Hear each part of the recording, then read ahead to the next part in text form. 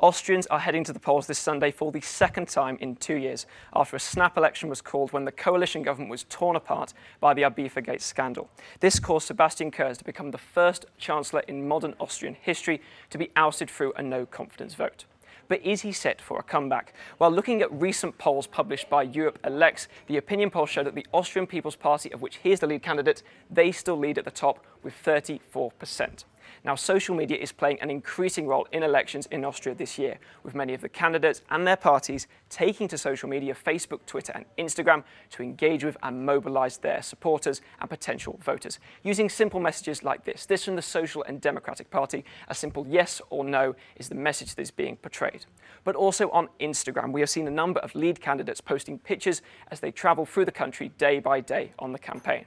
And indeed, when we come to the political advertising that's been used in Austria, it's also at an incredible high. You can see five of the six major political parties taking part in the elections this Sunday have, between them, paid over 200,000 euros when it comes to political advertising on Facebook. And indeed, the lead candidates of both the Social Democratic Party and the Freedom Party have each spent more than 100,000 euros each. But is this actually having an effect? And what is the social media race looking like?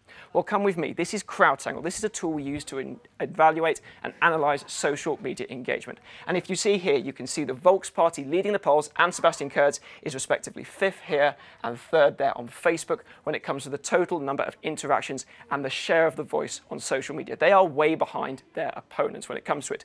We've seen the Greens doing incredibly well when it comes to social media with the recent climate strikes.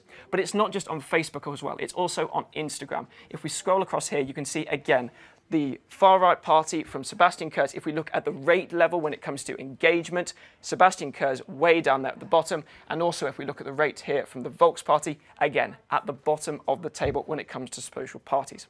But why is this the case? Why is the party leading the polls behind its opponents when it comes to social media engagement? Well, I asked this question to Uta Russmann, a professor of communications. The, the huge difference is that um, Sebastian Kurz already um, had a, a very good social media campaign in the last election two years ago in 2017. So he, at that time, um, what the party actually said was that social media is the heart of the campaign. Um, so they were already putting social media really in, in focus of their as a campaign tool.